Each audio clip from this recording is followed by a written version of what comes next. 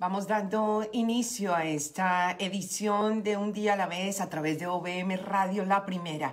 Comenzamos nuestra eh, programación en vivo y en directo a través de obmradio.com y también transmitiendo en vivo y en directo a través de OBM Radio en Facebook Live. Estamos también en nuestro canal de YouTube, OBM Radio TV, y por supuesto quedando este programa en un podcast que ustedes podrán encontrar más adelante. Muchísimas gracias a todos por su fiel sintonía en esta mañana ya de miércoles 16 de diciembre para el año 2020. Amanecemos con frío por acá en Arkansas estamos siendo parte del eh, efecto de una tormenta invernal, una tormenta de nieve que está afectando a varios estados de los Estados Unidos, aunque nosotros acá realmente estamos bien y poquita nieve. Anoche volvió a caer nieve, qué belleza, qué espectáculo, la verdad. Pero nada la nieve que ustedes imaginan de que toca salir y echar pala para poder manejar. Todavía no hemos llegado a ese punto, pero amanecemos con hielo en los carros, con nievecita en el pasto, con nievecita en los árboles, porque anoche cayó nuevamente nieve por acá, lo cual quiere decir que el invierno va a estar bastante interesante. Espero que para ustedes, donde quiera que estén,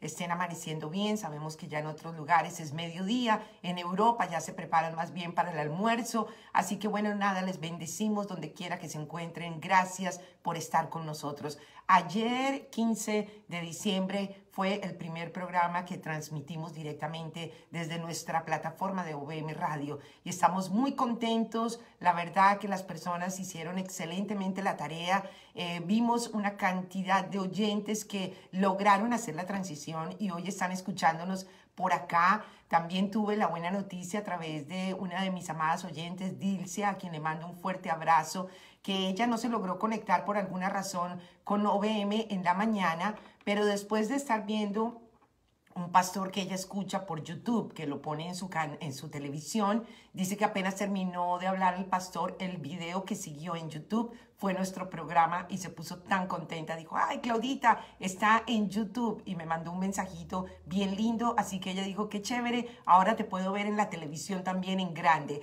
Así que nada, seguimos creciendo. Somos OBM Radio, somos radio, televisión y estamos en varias plataformas. Estamos en Facebook, en Twitter, en Instagram, por supuesto nuestro canal de YouTube, que te invito a que te suscribas. Es muy fácil. Busca OBM Radio TV en YouTube y dile suscribir y en ese momento vas a tener acceso a todos nuestros programas que están también en video. Así que seguimos invitando a tantas personas para que entren y hagan parte de nuestra programación. Tenemos muchas variedad de programas, tenemos eh, variedad en música, tenemos música en inglés, en portugués, tenemos en español, tenemos para jóvenes, tenemos para los que nos gusta la música antigüita, esos boleritos del ayer, música del recuerdo, todo con mensaje cristiano, por supuesto, porque somos una radio cristiana, pero también tenemos para nuestros jóvenes programación en inglés todos los viernes a las 7 de la noche. Tenemos música tropical, aunque ustedes no lo crean, hay salsa, merengue, bachata cristiana, buenísima.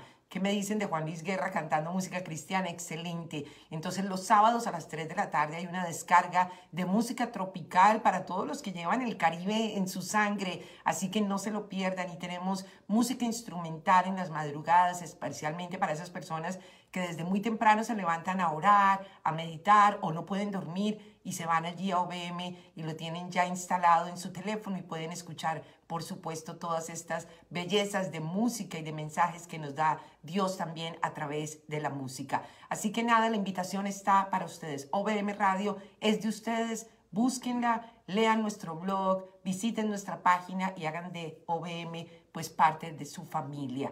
Eh, vamos avanzando, eh, como les digo, Miami está eh, en este momento con temperaturas muy agradables, 72 grados. Hoy van a tener un día caliente, 82, con bastante sol, con un 10% de probabilidades de lluvia.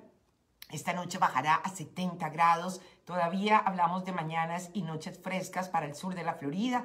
En Orlando, Florida, amanecen con 61 grados.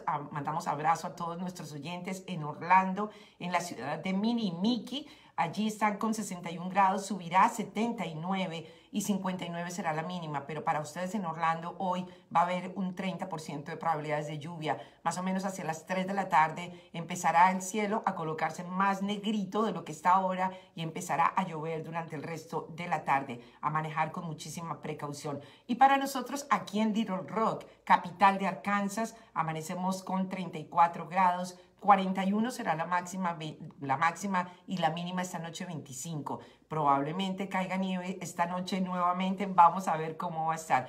Esta noche va a ser la noche más fría de toda esta semana. 25 para nosotros es frío. Créanme lo que hace bastante frío. Bendito Dios que podemos contar con calefacción. Pienso en las personas que están en la calle, de verdad, las personas que tienen que eh, refugiarse bajo cartones, estar por allí bajo un puente, personas que no tienen en dónde eh, pernoctar, dónde pasar la noche, debe ser muy, muy triste, muy, eh, muy, muy frío, ¿no? siempre pienso en esas personitas y qué bueno que siempre hay lugares donde ellos son recogidos y los pueden ayudar, pero no pasa siempre ni en todas las ciudades. Así que nada, vamos avanzando el versículo de hoy y doy gracias a Ninfa, que es nuestra asistente aquí en el chat del programa, porque ya vamos a dar el versículo del día. Eh, está en Hebreos 13, 16 y dice lo siguiente, nunca te olvides de hacer lo bueno, ni de compartir lo que tienes con, lo que no, con los que no tienen nada. Es prácticamente un llamado a nuestra misericordia, es un llamado a nuestro corazón bondadoso. Dios eh, nos ha dado a través de su Hijo Jesús, en toda la historia de la Biblia, eh, hemos visto cómo Jesús eh, desde que llegó y nació en ese pesebre y creció, él era una persona que eh, lo único que hacía era servir y servir y servir. Y si le quedaba más tiempo, seguía sirviendo. Él enseñaba, él oraba, él le lavaba los pies a sus discípulos. Él era el que se preocupaba de las necesidades que había en todos los lugares por donde él anduvo. Entonces, qué lindo ejemplo saber que es más lindo dar que recibir. Entonces, nunca olvidemos de hacer lo bueno ni de compartir lo que tenemos con los que no tienen nada. Si a ti te sobra un poquito, dale a una persona que necesite. Si tú estás en necesidad, entonces hacemos un llamado a las personas para que te ayuden.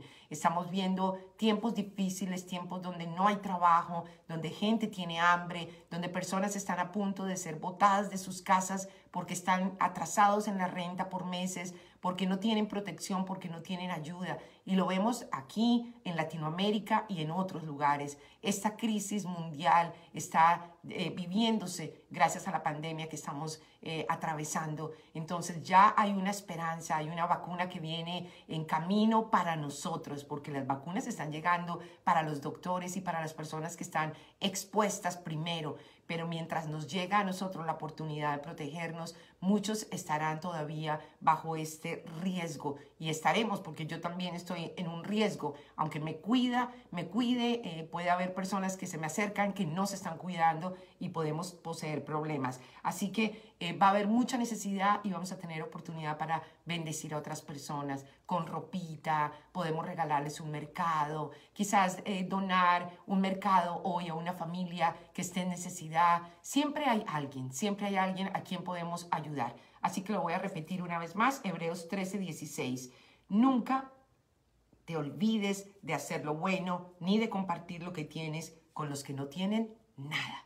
Ahí está la palabra de hoy, escrita en nuestro chat también de nuestro programa, hoy transmitiendo en vivo y en directo a través de OBM Radio, la primera. Vamos a orar, luego vamos a tener un tiempo de reflexión y hoy eh, tendremos dos segmentos bien chéveres. Hoy estaremos presentando un libro, un libro para recomendar, pero este libro es digital y tiene un contenido muy importante y está como muy fresco el tema. Estábamos hablando hace unos pocos días de que acaba de realizarse el sábado pasado la Teletón USA y que lograron pasar la meta.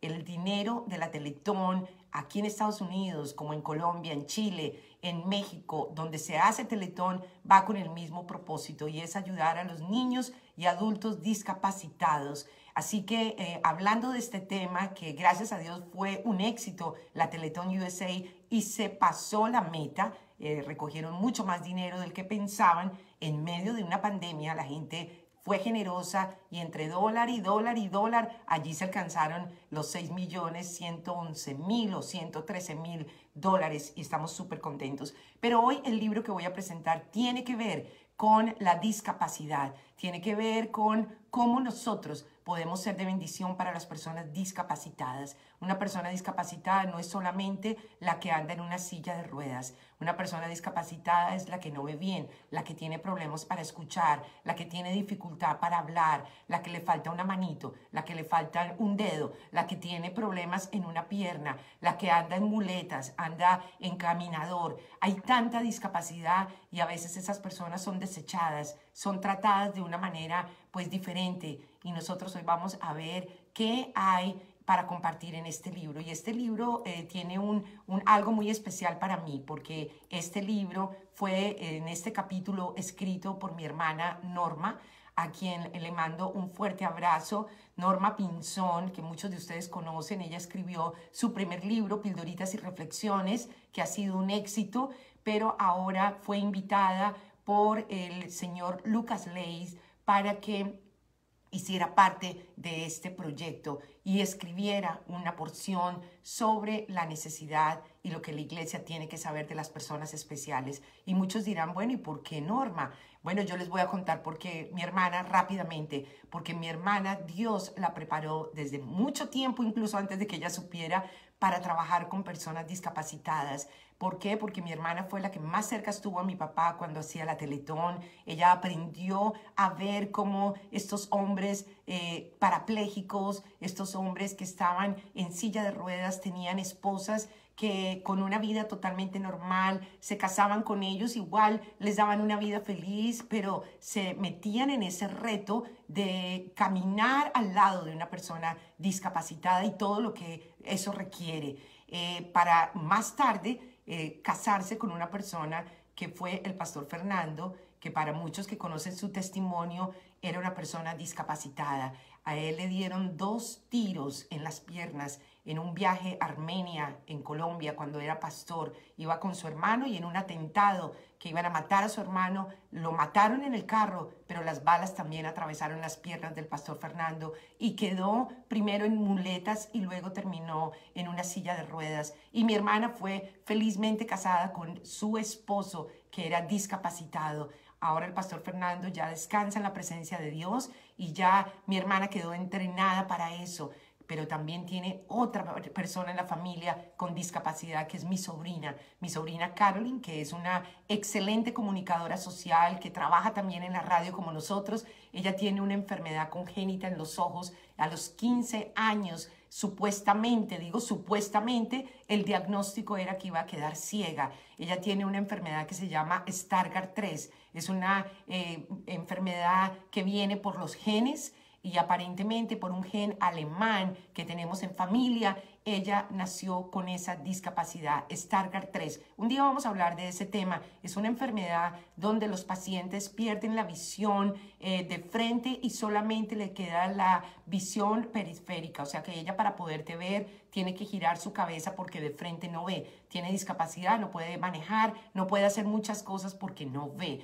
Pero si ustedes la conocen, lo que menos se imaginan es que Caroline tiene una enfermedad en los ojos porque su personalidad y todo el esfuerzo que ella ha hecho por prepararse ha sido arrollador. Y en este libro mi hermana cuenta historias de muchas personas con discapacidad que definitivamente van a ayudar a muchos. Así que dejo este preámbulo antes de que hablemos de ese libro para recomendar. Y hoy otro tema que estaremos tratando es, me he recuperado del COVID-19 y ahora qué hago? ¿Qué me espera? Y también algo muy importante, cuando yo tengo que irme a un hospital.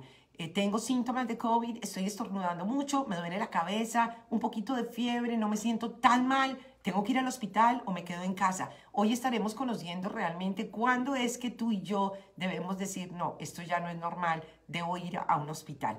7 de la mañana, 14 minutos, estás escuchando un día a la vez con Claudia Pinzón a través de OBM Radio, la primera. Vamos a entrar en un tiempo de oración y luego vamos a desarrollar los temas que ya les estoy diciendo. Saludos para Juliana en Perú, un abrazo, abrazos a toda la gente en Miami, tenemos a nuestro Raúl y Nacho desde Londres, en Inglaterra, tenemos a Normita Cabañez desde Argentina, está también por allí, veo a nuestra Digna desde la isla de Creta, en Grecia, y mucha gente que está sumándose hasta ahora a nuestra programación. Quiero enviarles, por supuesto, saludos a nuevos oyentes, a Lidia Marina desde Ecuador, a Adriana González desde Orlando, y también un abrazo muy cariñoso a la Iglesia Maná del Cielo en Alabama, que acaban de perder a su pastor eh, víctima del COVID-19. Un abrazo de fraternidad, un abrazo de esperanza para ellos que han perdido a su pastor. Vamos a orar. Padre, en el nombre poderoso de Jesús, yo te doy tantas gracias por este nuevo día que me permites vivir, que nos permites vivir.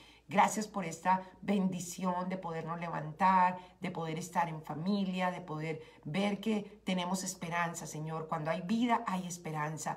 Y te quiero agradecer la noche de descanso que nos regalaste. Si dormimos mucho, qué bueno. O las pocas horas que dormimos, gracias. Porque realmente logramos encontrar nuevamente un poco de energía, de reposo, de descanso. Esas horas de sueño son maravillosas para nuestra salud. Oramos por todos los que se trasnocharon anoche, todos los que estuvieron desvelados por preocupaciones, por enfermedad, porque simplemente no pudieron dormir. A veces se nos va el sueño y quedamos todos desvelados. Oramos por todos los que hoy están todos trasnochados, les duele la cabeza, no pudieron dormir y están todos allí con perecita en la casa probablemente. Oramos por todos ellos para que hoy en el día puedan pestañear un ratico, puedan dormir un poquito y recuperar ese tiempo que no pudieron descansar. Damos gracias, Padre, por esta mañana, mediodía, tarde, noche de miércoles, a la hora que las personas entren a ver este video entren a ver eh, nuestro canal de YouTube, a la hora que se conecten con nosotros, Señor, regálales un resto de día muy feliz. Te lo pedimos con todo nuestro corazón. Estamos tan agradecidos, Padre, por todas las buenas noticias que están llegando referente a las vacunas. Sabemos que es una luz al final del túnel, es un grito de esperanza para las personas que de verdad están allí al frente de esta situación del COVID. Hemos visto muchísimas fotos de todas partes eh, con doctores, enfermeras, recibiendo esas primeras dosis en el planeta. Estamos agradecidos y muchos de esos doctores eh, quebrantados dan testimonio de que se sienten felices de poderse vacunar, que van a poder abrazar a un familiar ahora en sus navidades. Estamos viendo que hay esperanza. Gracias, Padre, porque tú eres un Dios de consuelo. Tú eres un Dios maravilloso que aún en medio de las tragedias más grandes de la vida, tú siempre te haces presente con tu amor, con tu bondad, con tu misericordia, con tus milagros. Damos gracias Dios porque tú eres un Dios tan bueno que aún en medio de nuestra necedad, aún en medio de nuestra indiferencia, de nuestra frialdad, porque a veces nos enfriamos espiritualmente, tú estás allí cada vez que te necesitamos. Gracias, Papito Dios. En esta mañana acudimos a ti, todos los que estamos cansados y cargados, porque dice tu palabra que tú nos darás descanso, que tú nos darás paz aún en medio de la tormenta, que no nos abandonarás y que estarás con nosotros hasta el fin del mundo y por una eternidad. Así que a todas esas promesas nos acogemos hoy y te damos gracias por el nuevo día. Bendice a todos los que están trabajando desde casa. Bendice a todos los que estudian desde sus casas. Bendice a todos los que salen al trabajo y están expuestos, Señor, por allí a otras personas. Guárdalos, protégelos, dale sabiduría para que se cuiden, que ellos sepan que no pueden bajar la guardia, que el hecho de que haya vacunas no quiere decir que ya pasó el peligro, que se va a demorar todavía unos meses en que todo esto empiece a frenar. Señor, mientras eso sucede, ayúdanos a ser diligentes, inteligentes, sabios, prudentes, a mantener nuestra distancia, a quedarnos en casa las veces que sean necesarias para evitar el contagio y poder pasar unas navidades por lo menos con salud.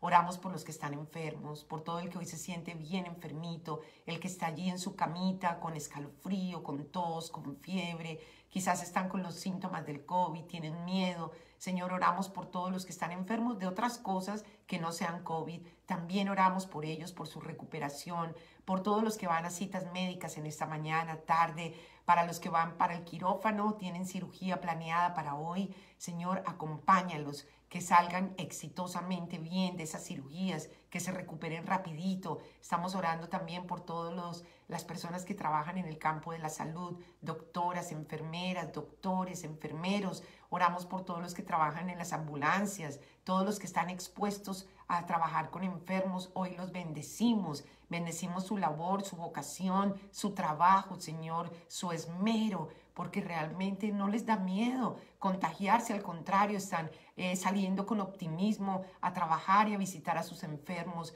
Señor, yo bendigo a todas las enfermeras y doctores por esa hermosa vocación, por ese hermoso corazón que tú les has regalado.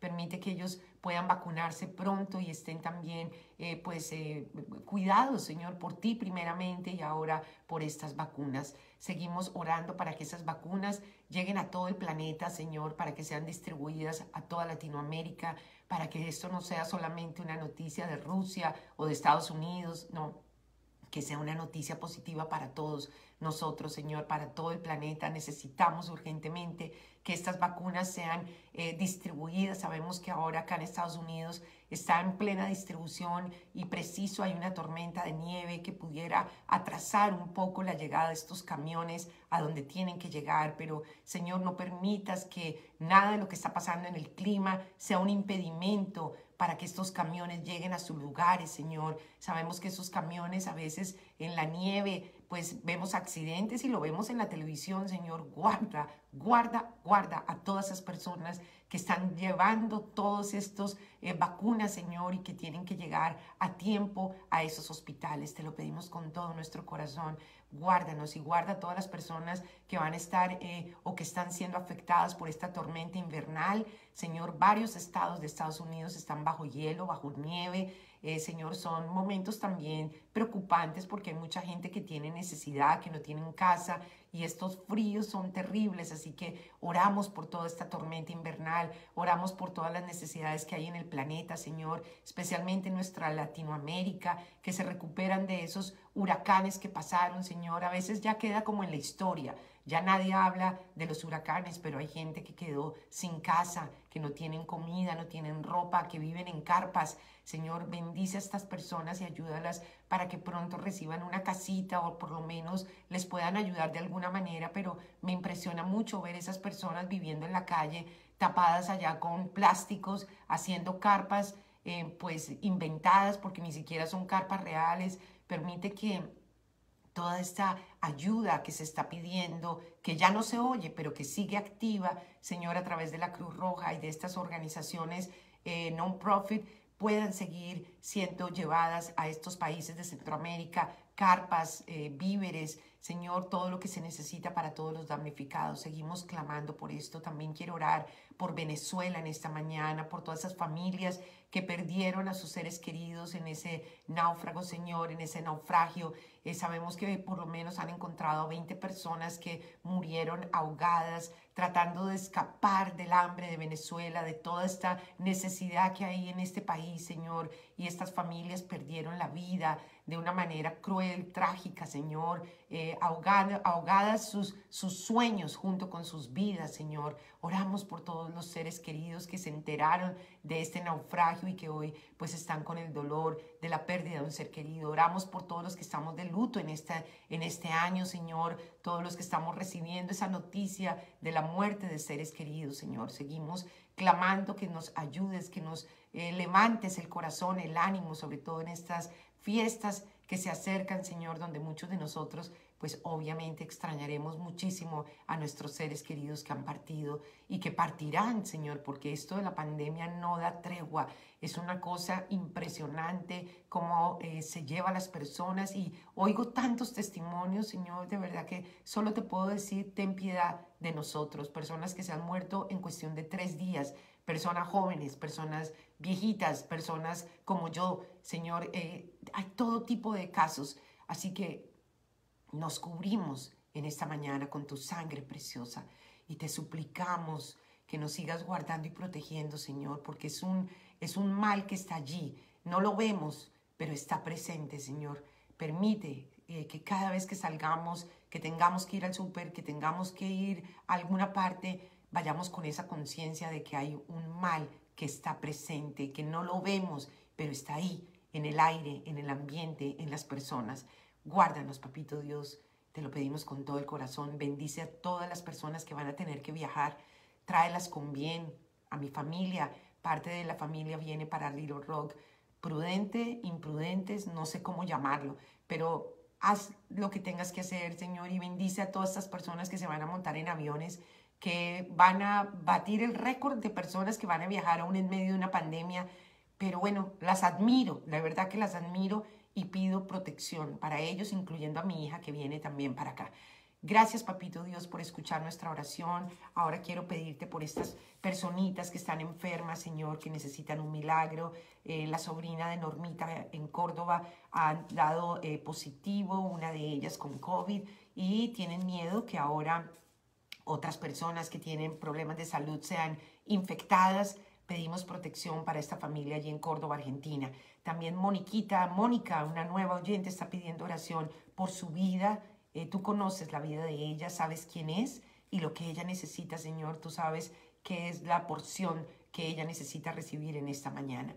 Oramos por Miriam, que perdió a su esposo, el pastor Godoy, por sus hijos, por sus nietos, Señor, y obviamente por la congregación, la Iglesia Maná del Cielo, que está de luto en este momento allí en Alabama con la muerte del pastor Juan Godoy, que luchó con el COVID-19 y ya está descansando en los brazos de nuestro Padre Celestial. Estamos orando por eh, toda la familia, Dilcia y todos sus seres queridos. También quiero orar por eh, Vilma, que viaja para Colombia, entre las viajeras valientes, Señor, bendícela y guárdala de cualquier infección. Marta Centeno, que tiene COVID, Señor, ayúdala, que está pasando sus momentos de dificultad, al igual que oramos por Velo, por su matrimonio y negocio en Ecuador, por mi mis compañeros de radio, Hernando Arango y Miguelito, cada uno de ellos con una situación crítica de salud. También quiero orar por la recuperación de mi hermana en Orlando, la recuperación de su cirugía, también de Yvonne, eh, señora, quien presentamos cada mañana con su problema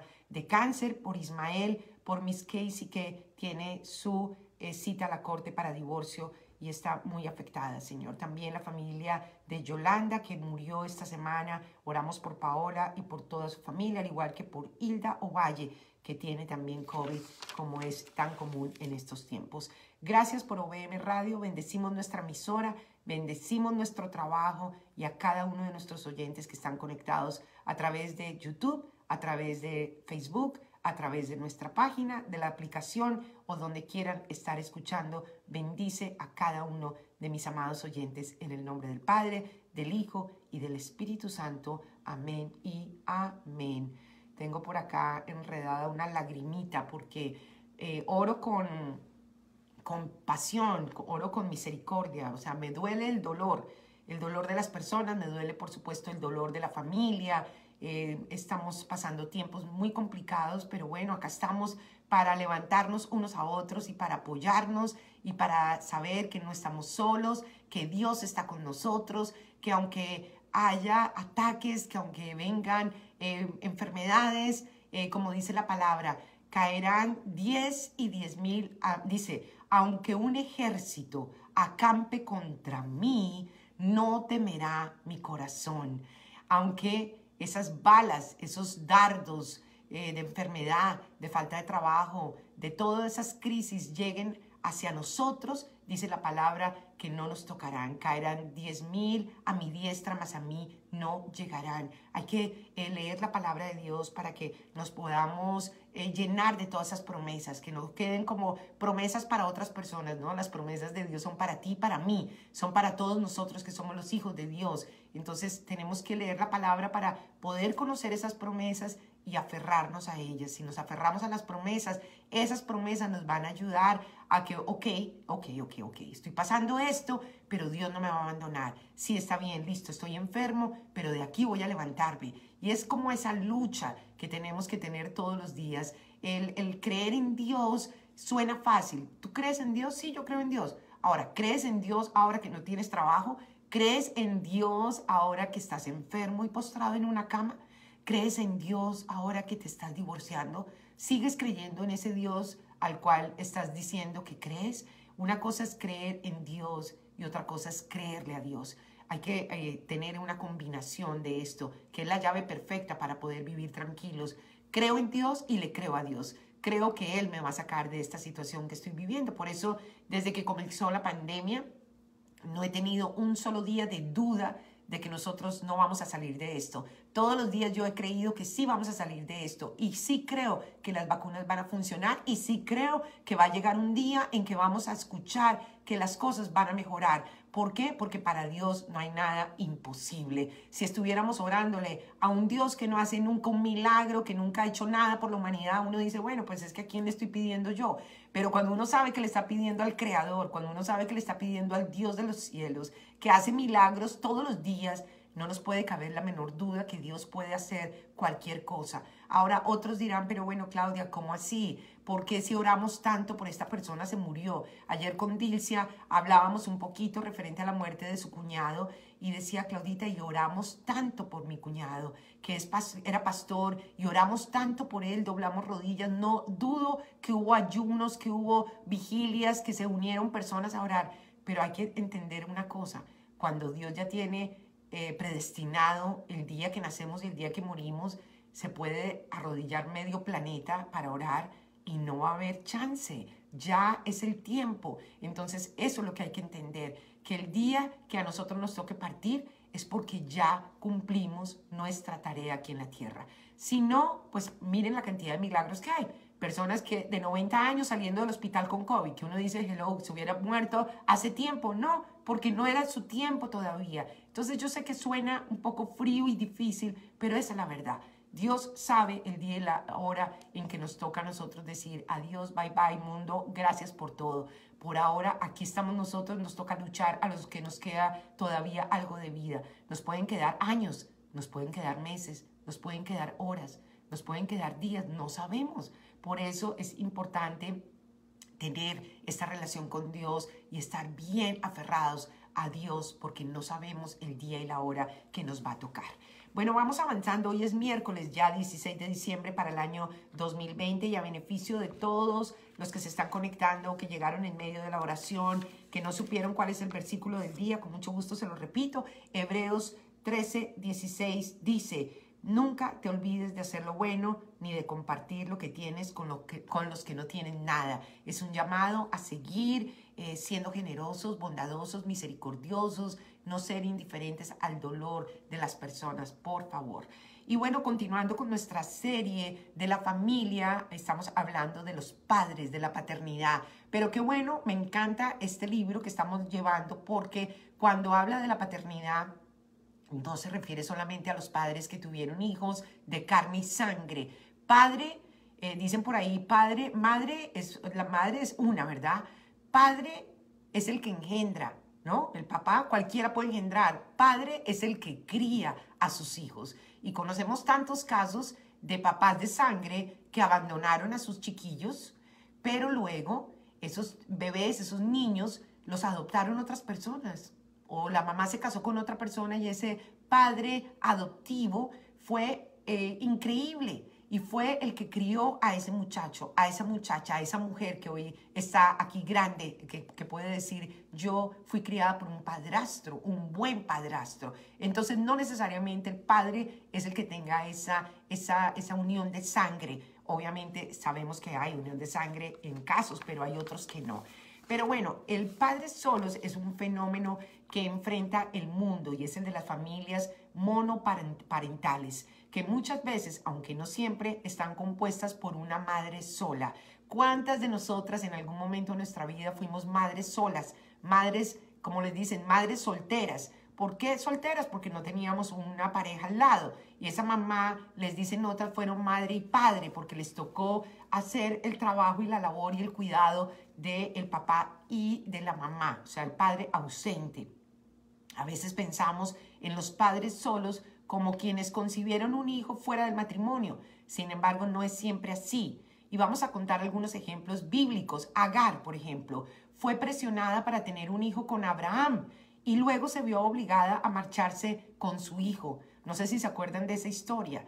Pero imagínate que le dé Dios luz verde a una persona o la esposa le dé luz verde al marido. Sabes que yo no puedo tener hijos. Entonces, como yo no puedo tener hijos, acuéstate con la señora del aseo. y ten el hijo con ella para que tú cumplas tu sueño de paternidad. Ay, Dios mío, yo me muero. A mí ni me, ni me invites a ese juego que yo, no. Ustedes se imaginan una esposa en estos tiempos, aunque sí lo estamos viendo, se me viene en este momento a la memoria lo que está pasando con los vientres eh, que son alquilados. Esto es una cosa increíble que una persona no puede tener hijos y alquila un vientre. Bueno, eso es lo que están haciendo cantidades de personas en la farándula, en el mundo, que no pueden tener hijos, entonces contratan personas que no, no se pueden encariñar con esos hijos. Ojo, tienen los hijos y los tienen que entregar porque les pagaron dinero para eso. Un vientre alquilado no es que la mamá va a tener el bebé, no, está divino mi bebé, ya no lo voy a entregar. Uy, señor, se puede meter en tremendos problemas legales. Bueno, pues así Ricky Martin y su esposo, eh, su pareja, perdón, eh, sí, su esposo, eh, ellos tienen niños, pero tú crees que Ricky Martin tuvo niños, no me digas, no me, no me digas esa historia, cuéntame otra historia. Obviamente no va a poder tener hijos porque no está diseñado para tener hijos, pero él quiso tener hijos con su pareja, entonces obviamente le pagan a alguien para que ese alguien tenga esos bebés y cuando nacen esos bebés los entregan y entonces los crían esos papás. Tengo que poner este ejemplo con todo respeto porque es lo que estamos viviendo hoy día. Entonces Agar fue presionada para que tuviera un hijo con Abraham y cuando le dio el hijo, entonces váyase, la sacaron corriendo. Esto está en Génesis 16.3. Luego vino otro caso, el caso de Betsabé, que quedó embarazada como resultado del avance sexual de un hombre poderoso. Esa historia está en 2 Samuel 11.4. Elías fue enviado a una aldea llamada Sarepepta para ayudar a una madre sola que era viuda en esta aldea. Así que él llegó a ser eh, un, un apoyo para esa madre soltera. ¿Qué me dices cuando Jesús comenzó su ministerio? José era su papá adoptivo, porque su padre había muerto, dejando a María como viuda y madre sola. Así que la muerte había separado de José, quien había compartido con ella el conocimiento del ministerio del nacimiento de Jesús. Ahora no había nadie en quien poder confiar sus esperanzas y temores. Los últimos dos meses habían sido de mucha tristeza. Estamos hablando de la historia de María como viuda. Uno no habla sino María, la Madre de Jesús, y para la historia, ¿no? Eso es lo que uno oye cuando la gente venera y, la Virgen María. Sí, muy lindo, pero ella también tuvo lo suyo, tuvo su historia y tuvo que eh, pasar este, esta situación difícil de quedar embarazada del Espíritu Santo y presentarse al mundo diciéndole yo no me he acostado con nadie, estoy embarazada porque Dios me envió un ángel y resulta que yo voy a ser la madre de Jesús. Como decíamos esta semana, ajá, en estos tiempos, ¿quién te cree esa historia? Embarazada del Espíritu Santo. Obviamente la historia la Biblia fue real. Así que un padre solo o ser padre solo quizás sea uno de los trabajos más desafiantes que una persona pueda tener. Muchos enfrentan dificultades, cómo manejar las finanzas, cómo tratar con el otro padre o simplemente pasar tiempo a solas con Dios y preguntarse si alguna vez volverán a ser amados. ¿Cuántos de nosotros nos ha tocado porque quedaron viudas, porque se murió la esposa, porque eh, se separaron, se divorciaron, porque le quitaron la patria potestad al otro y le tocó a esta criar sola a los niños, o lo típico que me tocó a mí, yo estoy también parte de este paquete, el típico papá que se eh, engendra los hijos, da los hijos y después si te vi no me acuerdo, eh, ayuda económica cero, corte todo el tiempo. Yo llevo toda la vida, tengo un caso abierto en el child support y de la ayuda y del, dinero, cero pollitos. ¿Por qué? Porque hay padres irresponsables. Les fascina tener hijos, relaciones, pero a la hora de mantener a esos hijos, bien, gracias. Si te veo, no me acuerdo. Entonces, qué tristeza porque yo represento ese grupo de mujeres que aún con mi hija de 17 años sigo teniendo un caso en la corte porque el papá de ella, bien, gracias. De dinero, nada. Entonces, tenemos esa responsabilidad y tenemos esos desafíos. Nosotros como, como, como iglesia, nosotros como seres humanos, ¿Cuál es nuestra responsabilidad? Porque yo no les cuento esta historia solamente para que hablemos de, ah, qué chévere, a él le tocó ser padre soltero, perdón que me suene en público, pero es que ya mi alergia llegó, eh, sino que, ¿qué tenemos que hacer? ¿Cuál es el mandato que Dios nos da? Y esta es la parte bonita e interesante. Nosotros como pueblo, como iglesia, como amigos, como hermanos, como primos, como tíos, tenemos la responsabilidad de ayudar a esas familias monoparentales. Santiago escribió, la religión pura y sin mácula delante de Dios el Padre es esta. Atención, el que tenga oídos para oír, que oiga. Número uno, visitar a los huérfanos y a las viudas en sus tribulaciones, dice acá, y guardarse sin mancha del mundo. Se podría agregar el principio y a los padres solos con sus problemas también. La ayuda que podemos ofrecer no tiene que ser solo económica.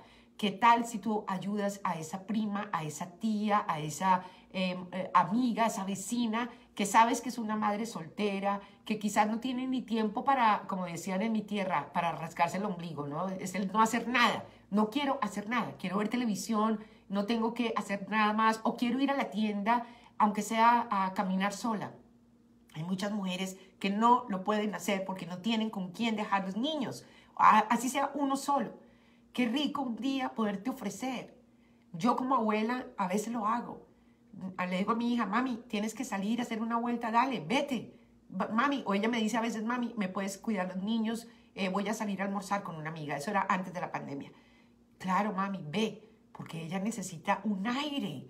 Es que es difícil, entonces podemos ayudar a esas personas llevándonos los hijos por un rato para que ellos puedan hacer otras tareas, descansar, orar, estudiar. Eh, las parejas a veces están cansadas, agobiadas de tanto eh, criar a los niños. Qué rico que un día tú te ofrezcas y esa pareja pueda salir, a, así sea, a dar una vuelta en el carro y regresar. Pero es un aire, un respiro. Dice acá que nosotros también podemos servir como mentores para esos hijos o ayudar a reparar cosas en la casa. Podemos ser las manos de Dios en múltiples formas para ayudar a los padres solos. Qué linda historia, qué lindo capítulo el que hemos compartido hoy. La verdad que Dios se pasa en sus enseñanzas. Uno ve la paternidad como si ese padre solo, o se le murió la mujer, o esa madre sola. No, es que hay tantas cosas que uno puede profundizar. ¿Hace cuánto no pensábamos en eso? En que tú y yo podemos ayudar a alguien que tiene un hijo para que se salga a comprar, aunque sea un, un helado, y nosotros hacemos cargo de ese bebé. Es una forma de ayudar. Y si puedes ayudar con dinero, ahora que viene Navidad, si podemos regalarle unos regalitos a esos niños, a esa familia que no tiene trabajo, pues todo esto es parte de ayudar a esa paternidad, a esa, esa, esa responsabilidad que tienen muchos de los padres y que están pasando momentos difíciles. Pero bueno, cambiamos el tema totalmente, ya son las 7 de la mañana con 42 minutos, estás escuchando un día a la vez a través de OBM Radio, la primera. Eh, vamos a presentar un segmento que lo voy a abrir también para la radio en este momento, eh, que es precisamente el libro que vamos a recomendar y luego vamos a hablar de ese libro que es un libro digital, no está en papelito, tienes que bajarlo. Eh, yo te voy a dar toda la información, por supuesto. Vamos a abrir el segmento.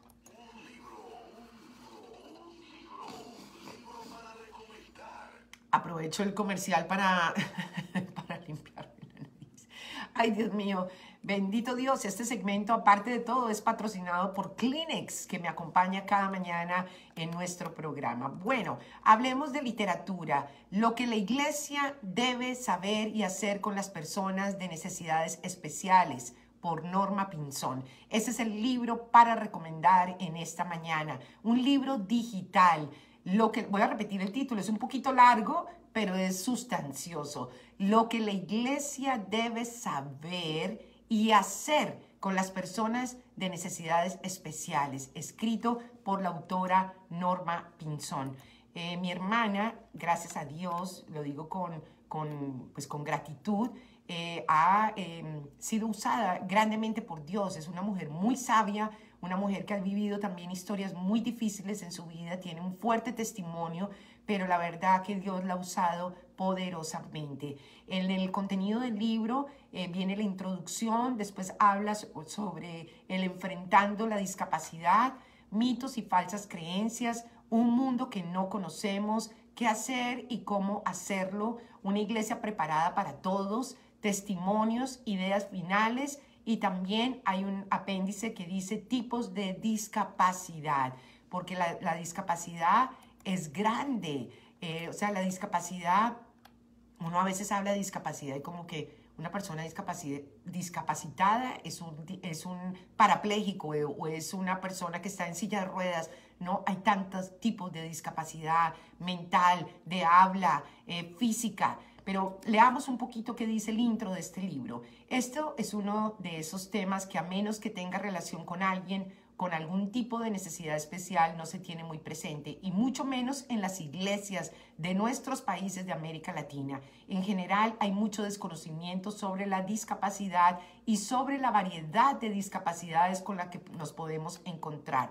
Podríamos definir la discapacidad como la falta o limitación de alguna facultad física o mental que imposibilita o dificulta el desarrollo normal de la actividad de una persona. La discapacidad, dice mi hermana en la introducción de este libro, me ha tocado muy de cerca al tener a mi lado dos personas muy importantes en mi vida con dos necesidades especiales muy diferentes. Mi hija con una enfermedad en sus ojos y mi esposo, el pastor Fernando García, que hoy está en la presencia del Señor, que cuando lo conocí usaba bastones y en sus últimos años estuvo en silla de ruedas. Esto me anima a poder compartir con ustedes mis experiencias como madre y esposa y le pido a Dios que este material pueda ser útil y logre ayudar a las personas que tienen necesidades especiales, que puedan desarrollar un sentido de pertenencia dentro de nuestras iglesias y de verdad se sientan parte de ellas. Este libro está dirigido a las personas, a las iglesias y es útil a todo aquel que esté interesado en conocer sobre este mundo de la discapacidad. Y también eh, dice acá en el libro que eh, en uno de ellos dice lo que la iglesia, por ejemplo, debe saber y hacer con las personas de necesidades especiales. Dice que eh, las personas con discapacidad no solamente han sentido rechazo en su trabajo. ¿Cuántas veces hemos oído que personas que tienen alguna discapacidad, ah, no, no puede trabajar acá, no sirve, las ven como personas menos valiosas? Eh, cuando una persona, yo me acuerdo cuando mi papi hacía la Teletón en Colombia, eh, él, hablaba de discapacidad. Eh, la palabra minusválido es una palabra que a la persona eh, discapacitada le ofende un poco, porque una persona minusválida quiere decir que tiene menos valor y no es cierto. Una persona en una silla de ruedas puede ser una persona brillantísima. ¿Cuántas personas profesionales conocemos que están en una silla de ruedas? ¿Cuántas personas hemos visto en el planeta que son pintores y pintan con sus pies porque no tienen manos. ¿Cuántos hemos visto que no tienen manos y sin embargo con sus ñoquitos juegan y hacen deportes? ¿Cuántas personas no hemos visto con prótesis que corren, que juegan, que nadan, que hacen todo lo que una persona con todo su, eh, su cuerpo funcionando normalmente pueden hacer? Hoy día todas estas eh, eh, organizaciones como la Teletón ayudan a estas personas discapacitadas a que se puedan recuperar y que puedan ser útiles y se sientan útiles. Sabes que una persona cuando queda parapléjica o cuadrapléjica, que son los que pierden toda la, movilidad de su cuerpo, tienen que volver a aprender a hacer todo. Ellos no, no sienten ni cuando van a hacer pis, ni cuando van a hacer popis, ellos no pueden mover sus manitos, los vemos solamente que mueven la cabeza, pero con esa cabeza, con esta boca, aprenden a hacer cosas. Entonces es increíble cómo pasan la discapacidad, pero como Dios los levanta y los puede hacer personas de mucha utilidad. Entonces, no solamente los discapacitados se han sentido desplazados y despreciados en sus trabajos, en las familias. ¿Cuántos de nosotros no hemos tenido? Nosotros, por lo menos en mi familia, estoy hablando en la familia Pinzón, tenemos muchos discapacitados. Con mi hermana nos pusimos a pensar el otro día de verdad cuántos discapacitados tenemos. Tenemos a mi sobrina Caroline, que tiene una enfermedad en sus ojos que se llama Stargardt 3, que hubiera podido quedar ciega a los 15 años. Gracias al Señor y solamente gracias a Dios, ella hoy puede tener familia y está trabajando, se graduó con honores de la Universidad en Comunicaciones y ella no puede leer. Ella veía todo a través de lupas y de aparatos especiales, pero así se estudió en la universidad y se graduó con honores. Ahora tengo el otro caso de mi sobrina, la sobrina, la hija de mi hermano, Norma, la tercera norma de la familia, comunicadora social. Ella tiene problemas de oído, de hecho tiene un audífono y esta jovencita escribe de una manera increíble. Hoy está haciendo sus pasantías en la revista Hechos y Crónicas, que es muy reconocida en Colombia y en Sudamérica. Tengo uno de mis primos que nació bien, pero como a la edad de unos 12 o 15 años, le dieron un balonazo en un ojo y quedó ciego de un ojo y después se le desprendió la retina del otro ojo. Este primo mío llamado Julio Pinzón corrió en el autódromo de Colombia, en el autódromo en Bogotá, ciego, pero con sus otros sentidos logró correr un carro de carrera sin ver. Dime si tú, estas historias no son únicas. Dios utiliza a las personas discapacitadas. Tú puedes tener problemas de oído, problemas de vista, problemas en una pierna, tener la falta de un dedo, de una pierna, de un ojo, de lo que sea, pero ante los ojos de Dios somos importantes. Dice mi hermana aquí en 2 Corintios 12, 9, dice, pero él me dijo, te basta con mi gracia, pues mi poder se perfecciona en la debilidad. Por lo tanto, gustosamente haré más bien alarde de mis debilidades para que permanezca sobre mí el poder de Cristo. Si tú tienes una discapacidad, este programa hoy está siendo para ti. Este programa está siendo para ti. Aquí, Cabullita, que somos casi primas, eh, me está recordando mi otro primo, eh, mi primo Germán, que también eh, es una persona demasiado brillante, inteligente, inteligente, inteligente. ¿Han escuchado esos casos? Que las personas son tan brillantes que como que el coco de verdad tratan de, enloquecerse. Mi primo es muy, muy inteligente, pero su cabeza le falló. No pudo nunca tener una familia, nunca pudo casarse. Eh, ¿Por qué? Porque tiene una discapacidad en su mente, pero es un gran artista, es un gran pintor. Entonces, yo hablo de mi familia porque son casos cercanos, pero conozco muchas personas, conozco varios casos y de hecho también he hecho referencia en mis libros de personas discapacitadas que han logrado salir adelante. Entonces, eh, acá dice eh, mi hermana en su libro, espero de corazón que este libro con experiencias propias, diversos testimonios y algunos programas que ya se han implementado en iglesias en los Estados Unidos puedan darte herramientas para poner en práctica y cumpla el propósito de contribuir a que las personas que tienen alguna discapacidad puedan sentirse amadas y valoradas y parte del mundo y de la iglesia. Por allá, hace unos años, una pastora de esas pastoras que yo no sé quién le dio el título en Colombia, creo que fue en Bogotá, dijo en televisión nacional que ninguna persona discapacitada servía en la iglesia. Ay, Dios mío, no saben cómo nos dolió a nosotros. Imagínate que una persona salga diciendo en televisión nacional que si tú eres cojo, que si tú tienes problemas de oído, que si tú tienes problemas de vista, no sirves. Tienes que estar quieto y sentado. Bueno, eso le cayó medio mundo encima. Las iglesias se pusieron furiosas porque obviamente los que tenemos familia con discapacidad no podemos desplazar a estas personas, todo lo contrario, tenemos que ayudarlas y apoyarlas. Y si tú tienes un hijo con discapacidad, no te lamentes más, no te lamentes. Yo sé que quizás ha sido un dolor muy grande eh, que tu hijo haya nacido ciego o sordo o mudo, pero o quizás le faltado una, una manito, o quizás nació sin piernas, no sé. Pero lo que yo sí sé es que tú tienes el mayor regalo que Dios te ha podido dar Miren, Dios no le da a nadie algo que no pueda soportar. Las personas que tienen hijos especiales son súper especiales ante los ojos de Dios, porque tienen una labor que no todo el mundo puede hacer.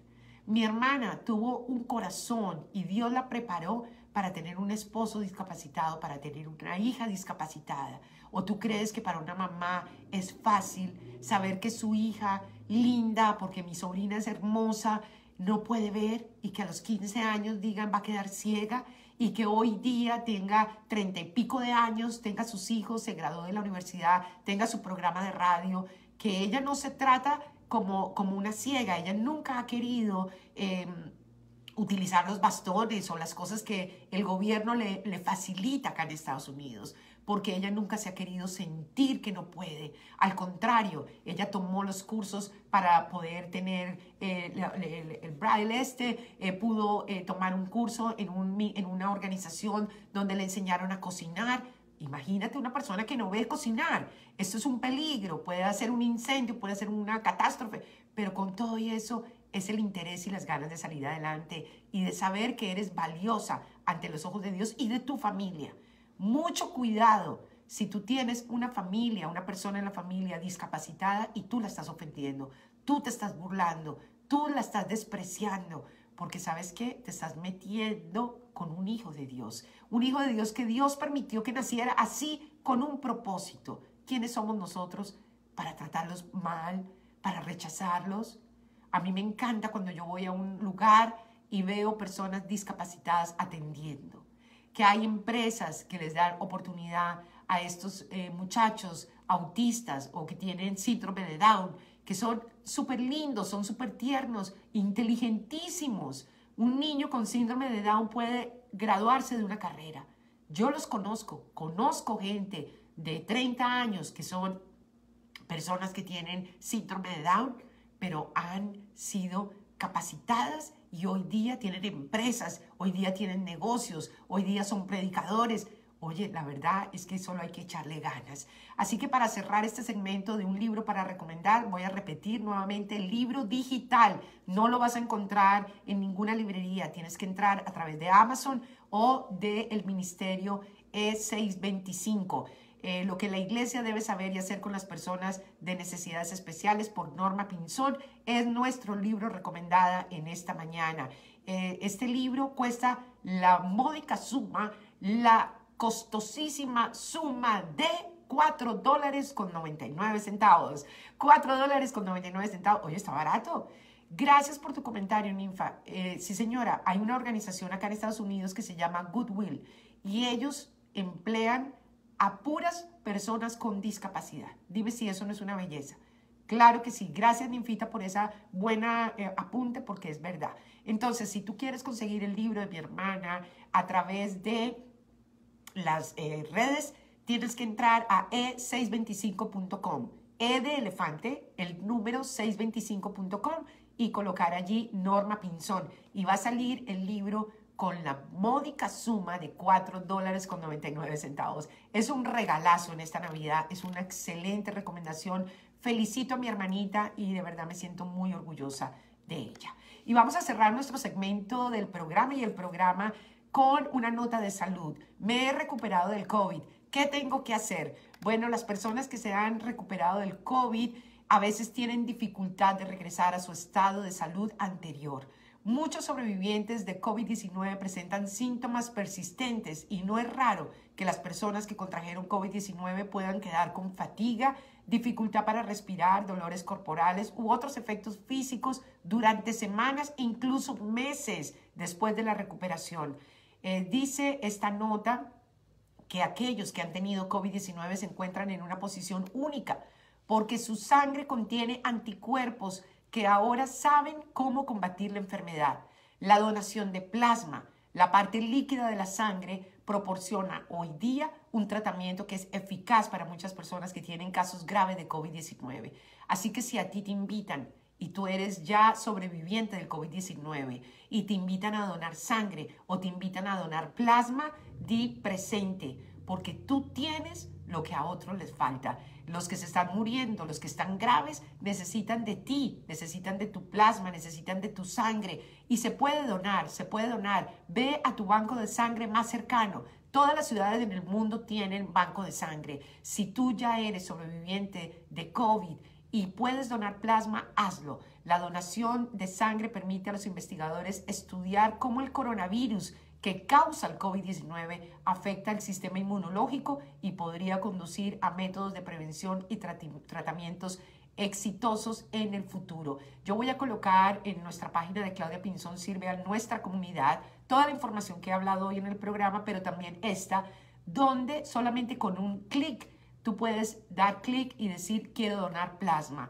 y ellos te van a enfocar o te van a llevar al banco de sangre más cercano para que tú puedas donar, donar plasma, especialmente si eres eh, sobreviviente de COVID-19. Yo ya estoy hablando con la nariz totalmente tapada.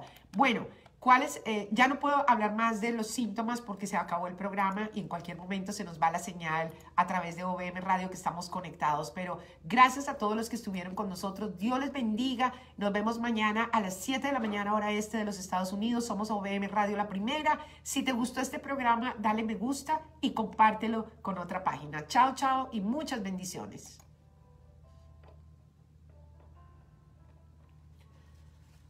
Ay Dios. Ay Dios. Espérense. Perdón, perdón. Necesito tomar café o si no aquí me ahogo. Bueno, bendito Dios que terminamos nuestro programa. Ya nos despedimos de la radio. Seguimos conectados a través de OBM Radio en Facebook Live. Gracias, Ninfita, por tu maravilloso trabajo. Ella colocó eh, 625.com slash Norma Pinzón. Es el libro recomendado en ese día para que ustedes lo busquen, lo compren por la módica suma de 4 dólares con 99 centavos. Es una buena oportunidad y sobre todo, si tienes familia con discapacidad, alguna persona que conoces, tienen que tener ese libro, lo tienen que leer porque es de verdad muy, muy lindo. Em, bueno, vamos entonces eh, llegando al final. Eh, quiero cerrar el tema que ya el tiempo se me fue, pero voy a, mencionar algunos de los síntomas. Salud, me dice, me dice Raulito, salud, entre el, entre el Kleenex y el café. Eh, los síntomas persistentes del COVID, quiero eh, mencionarlos porque yo sé que hay personas que ya pasó el COVID, ya se hicieron examen, salen negativo, pero se siguen sintiendo, sintiendo mal. Entonces, ojo con esto. Estos son algunos problemas de salud persistentes por el COVID COVID-19 comúnmente reportados. Fatiga, dificultad para respirar, ansiedad, tos persistente, latido acelerado, niebla mental, o sea, problemas de memoria, concentración, vas a decir algo y la mente te queda en blanco, depresión, dolores en las articulaciones, dolores y molestias musculares, mareos, erupciones, cambios en la visión y pérdida del gusto o el olfato. Aún personas que ya están recuperadas del COVID, que se hacen su test, salen negativo, pueden tener síntomas persistentes. Lo leímos en la nota, puede durar meses, eh, semanas en, que esto desaparezca. Estamos confiando que la gente no va a quedar así para siempre. Yo no creo que esto vaya a ser para siempre, que la gente se quede así. Yo creo que es tan fuerte este virus que la verdad le cuesta al cuerpo volver a quedar bien, pero yo sí creo que tiene, eh, van a tener esperanza los que pasaron por allí. Esta página que voy a compartir es una página oficial del gobierno, eh, se llama combatecovid.hhs.gov. Es un poquito largo, pero el link lo voy a, em, a, pasar a nuestra página de Claudia Pinzón Sirve a nuestra comunidad y allí ustedes van a poder leer todo esto. Eh, nunca he tenido COVID, ¿qué tengo que hacer? Tengo COVID, no sé qué hacer, me he recuperado de COVID y me siento mal, soy un médico, ¿cuáles son las instrucciones? Es una página muy linda del gobierno que la abrieron exclusivamente para hablar de todos estos temas, el síndrome post-COVID, eh, debería recibir vacuna contra el COVID si ya lo tuve, eh, doné plasma para ayudar a los pacientes que están gravemente enfermos, dónde puedo donar, eh, dónde puedo donar plasma, en fin, Está excelente, esta página la voy a compartir. En Infita, si la quieres escribir, te la dicto aquí despacito. Se llama Combate, y combate es con B grande. Combate COVID, seguido, combate COVID punto, y después esas tres letras, HHS.gov, que es la abreviación de gobierno en inglés. Gobierno en español, la abreviación es B grande, la abreviación en inglés es con V corta. Entonces, repito, combatecovid.hhs.gov. Esa es la página oficial para poder enterarnos de cómo donar plasma, cómo donar sangre. ¿Puedo colocarme la vacuna aunque ya tenga, haya tenido COVID o no me la debo colocar? Yo creo que sí te la debes colocar, aunque te haya dado COVID. Es como el que le dio flu y no quiere que le vuelva a dar. Se coloca su vacuna y va a evitar que le dé el contagio. Está muy buena la página, me encantó conocerla.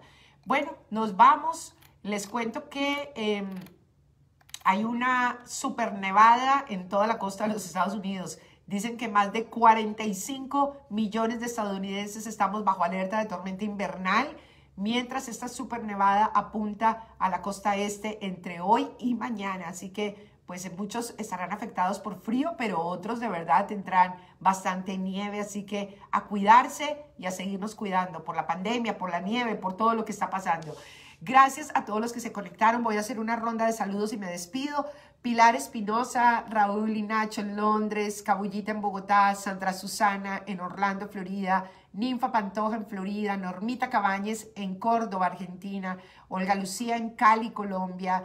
Está también por acá eh, nuestra querida Digna desde eh, Grecia. Intenso Sol desde eh, Argentina dice, me encanta, te muestras tan real contando tus experiencias. Así es, todo lo que no cuento lo escribo.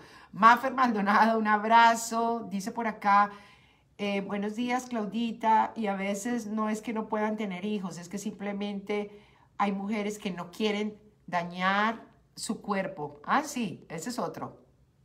Piedad Marina, buenos días. Judith Reynoso, buenos días, bendiciones.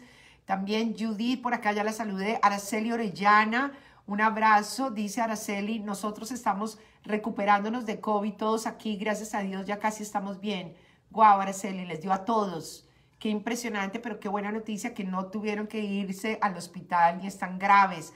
Eh, también por acá dice, eh, bueno, una, una palabra que siempre Cabullita nos da, que es la poeta acá del programa. Dice, no debemos rendirnos porque estamos en las manos de Dios, a quien le pertenece nuestra vida en las alegrías y en los tiempos difíciles. Me encanta leer tus reflexiones antes de irnos del programa. Gracias, Cabullita. Margarita, eh, un abrazo hasta Coral Springs. Y Lidia Marina Chicaiza, un abrazo también para ti. Está también conectada Juliana Torrico desde Perú, eh, John Aragón desde Miami, es eh, Sirlene Clerk también desde Estados Unidos, John Aragoncito, ya lo saludé. Está también Mabel Bello, Jerinelda Esteves, Adri Sierra. Em, a ver, ¿quién más? Déjame ver, déjame ver. Santa Cristiana, Mayra Maqueira, está saludando también por acá. Rosaura Porras. Uy, mucha, mucha gente. Isa Piedra. Oscar Cifuentes, Osquitar, buenos días, dice felicidades para todos, Jackie Mercado. Eh, ¿Quién más? Bueno, mucha gente, gracias a Dios por su conexión. Vamos a, cerrar ya el video. Recuerden que, ah, bueno, Germán de la Rosa dice, yo, desde Canadá. Un abrazo también, Germancito, gracias por estar con nosotros. Eh, recuerden que este programa, si entraron tarde, lo pueden devolver, lo pueden ver en YouTube, lo pueden ver más tarde como podcast porque queda grabado en todas las plataformas de nuestra emisora. Así que un abrazo fuerte. Si Dios nos da vida y salud, nos vemos mañana a las 7 de la mañana hora este de los Estados Unidos. Abrazos y muchas bendiciones. Gracias a todos los que se conectaron. Chao, chao.